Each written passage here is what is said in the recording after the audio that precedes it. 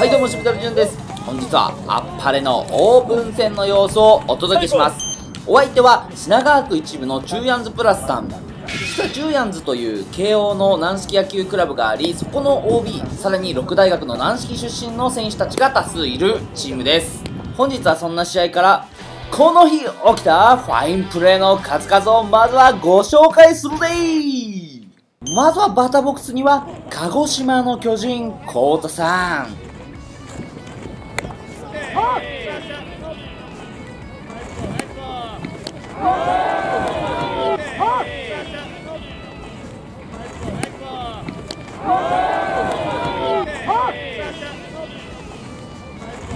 捉えたと思ったらそこにはサードがナイスキャッチ。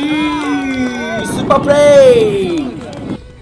コトさんの完璧に捉えた低弾道の素晴らしいライナー。これサードが手をいっぱい伸ばしてベストタイミングでキャッチ。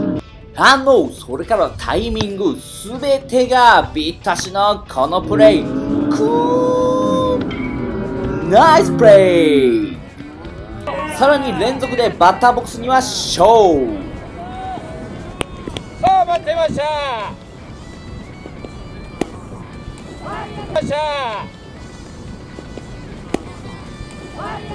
このふらふらと上がった間のフライ落ちるかと思いきやショートがうん。ナイスキャッチ。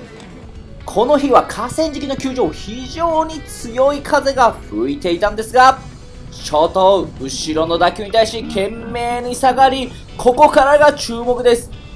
目測を少し誤っている。しかしここから反転して執念のキャッチ。魂を感じる。球際の強さ最後の体の身のこなし。このプレーにはアクロバティックプレイ。はいあっぱれも負けていません。キャッチャー扇の要ゾエさん。ランナー一塁から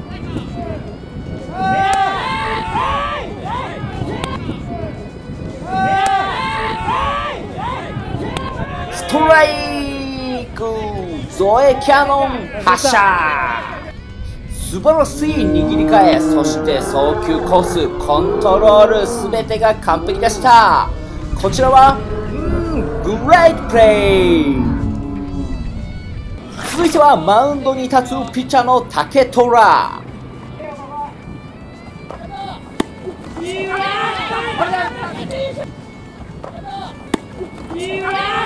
素早い身のこなしでセカンドに送球さらにバタラナも走ることができずファーストアウトでダブルプレイ。投げた後すぐにマウンドを駆け下りる強かったバントではありますがしっかりと二塁に送球ストライク。これは走行走行いいプレイ。続いてはショート私守備猿潤まさか自画自賛のパターンなのか？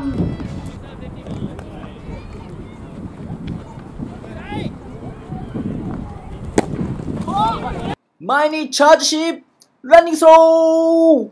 こちらをセーフ。やってしまった。ランナー一塁の打球。セカンド、フォースアウトになるかもしれないと思って少し待ってしまってスタートが遅れました。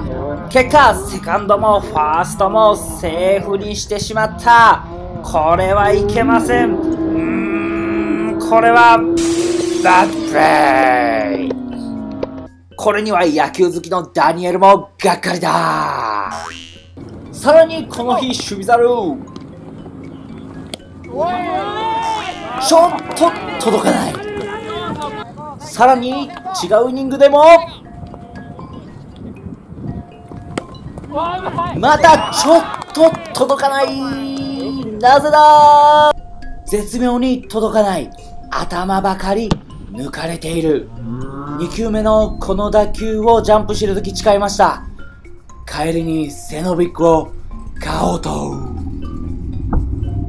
すいません、ふざけてしまいましたが、ここからは両チーム1本ずつ素晴らしかったバッティング抜粋してご紹介します。まずは、中ヤンズプラスの4番バッター、ピッチャーは竹虎。やってやってやってやってこの打球ぐんぐん伸びてライトのはるか頭を起こしていく。一気にサードも回りホームインでランニングホームラン。いや本当に右バッターのお手本理想のようなバッティングです。ちょっと外寄りのボールしっかりと振り抜いて体も開かず逆方向に強い打球を放っていました。横から見てもフォームもすごく綺麗でトップそして眼心しっかり決まってます。非常にナイスバッティングでした。さあ続いてはあっぱれ9番カモさんのバッティング。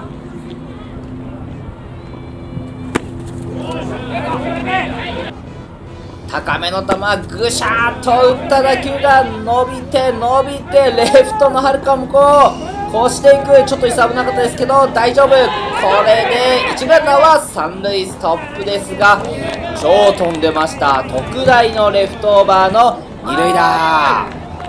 さあしかしこれスローで見てみるとはい、ここ、なんと、めちゃくちゃ根っこです。接続部分ぐらいでしょう。それを自慢のスーパーな怪力であそこまで持っていったカモさん。あ力と技術の融合。はい。というわけで、この試合、時間制で途中で終了してしまったんですが、5対1で勝利することができました。シューヤンズプラスさん、対戦ありがとうございました。まもなくあっぱれ公式戦始まります。今年も勝ち上がれるか